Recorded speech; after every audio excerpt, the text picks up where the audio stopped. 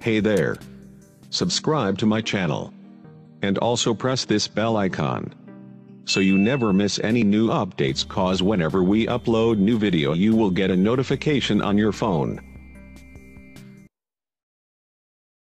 Hi friends welcome to the desk Deva English spoken class friends कैसे आप उम्मीद करता हूँ कि आप बहुत अच्छे होंगे friends in the last class I taught you the use of कितना कितने कितनी। The different use of the कितना कितने कितने। मीन्स हम कितना कितने कितने के लिए हम अलग अलग वर्ड्स बताए थे हमने। और आज हम पढ़ाने वाले हैं आपको द यूज़ ऑफ़ किसे, किसने, किसको और कौन। इसका इंग्लिश हम क्या लिखते हैं? तो चलिए हम आज की क्लास शुरू करते हैं।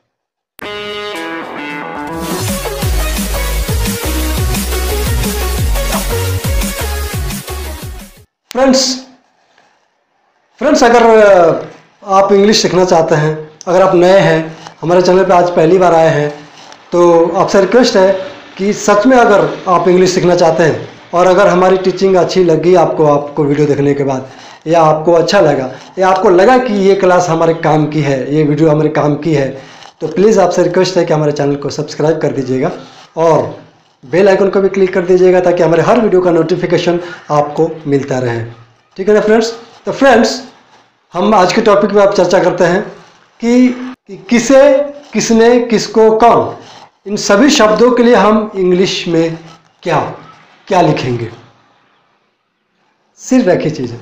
हु यस तो फ्रेंड्स तो अभी टॉपिक पे डिस्कशन शुरू करने से पहले हम वो वीडियो देखते हैं, जो हम हर वीडियो में आपको दिखाते हैं, एक कन्वर्सेशनल वीडियो ताकि आपको सुनने से अंदाज़ा मिले, पता चले कि इंग्लिश में हम टॉकिंग शुरुआत, यानी शुरुआत कैसे कर सकते हैं या बात कैसे कर सकते हैं। किसी भी हम अपने भाव को एक्सप्रेस कैसे कर सकते हैं।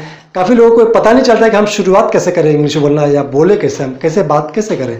तो इससे आपको देखने से आपको पता चल सकता है, जो हमारे स्टूडेंट्स बात करते हैं आपस में।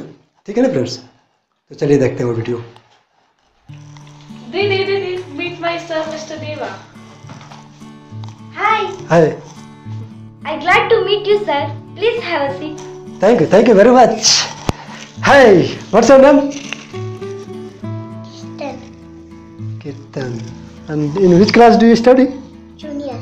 Junior, very good, very good. It's a brother. Yes, he is my younger brother. Yes. I'm very glad that you have come. My sister always admires you and uh, your teaching. She is very good girl. But she doesn't study regularly at home. Is it? But I always find her up to date in her work.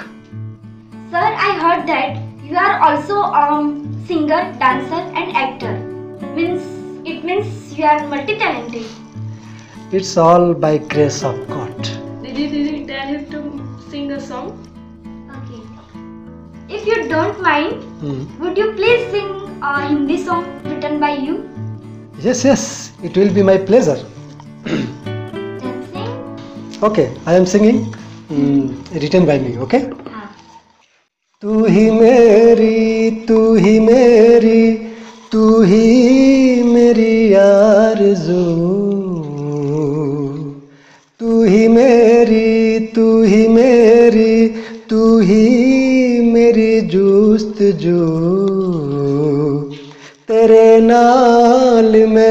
सारी जिंदड़ी जियूं सारी जिंदड़ी तेरा सजदा करूँ तू मेरी जिंदड़ी तेरे बिन कुछ नहीं तू मेरी जिंदड़ी तेरे बिन कुछ नहीं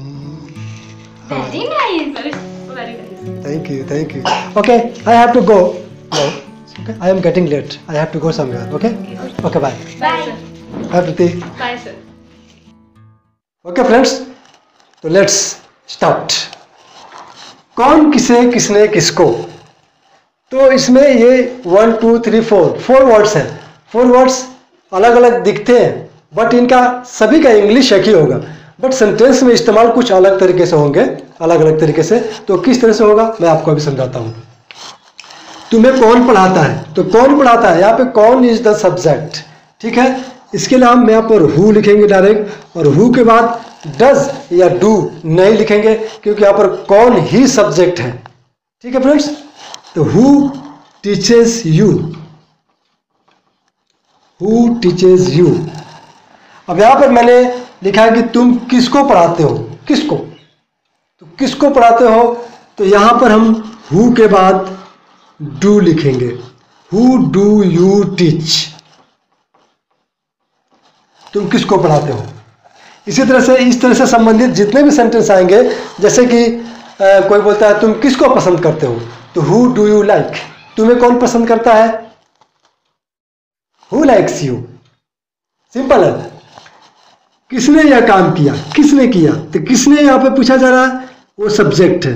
ठीक है? तो who did this work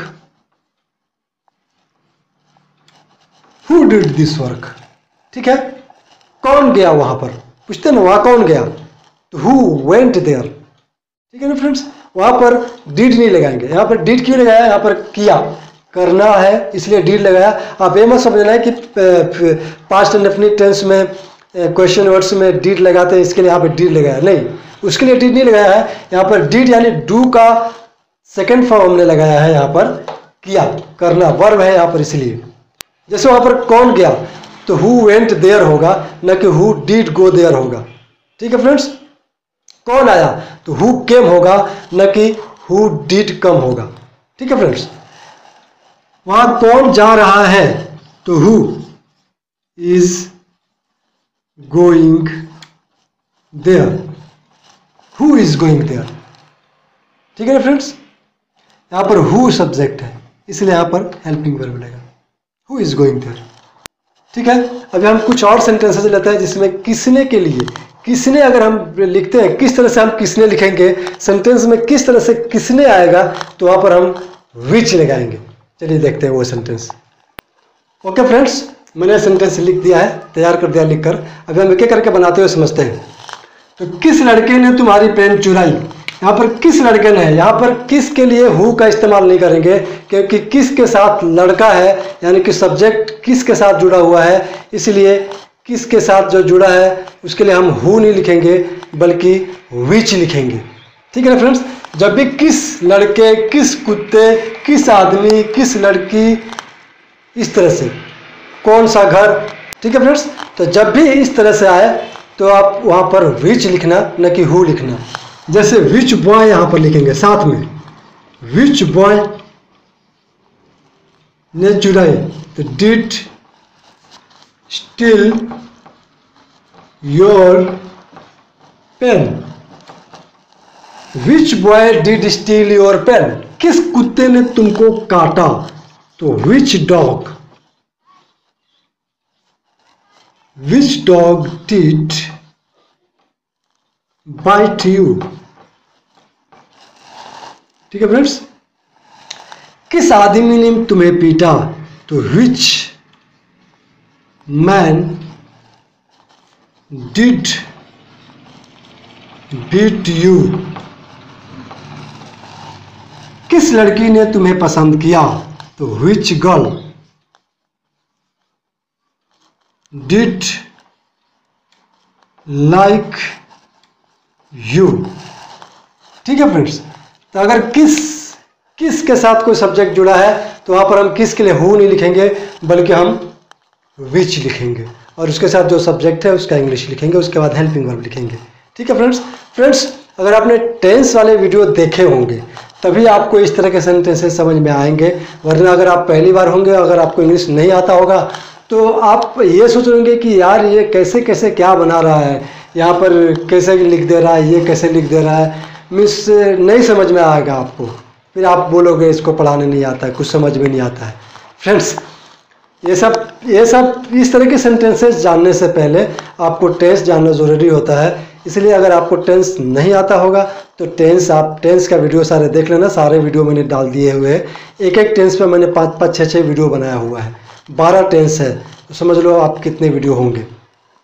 उसके पहले मैंने बेसिक के वीडियो डाले हैं। तो बेसिक पर भी कम से कम मीन्स 95 या 90 वीडियो डाले हैं मैंने। 90 लगभग।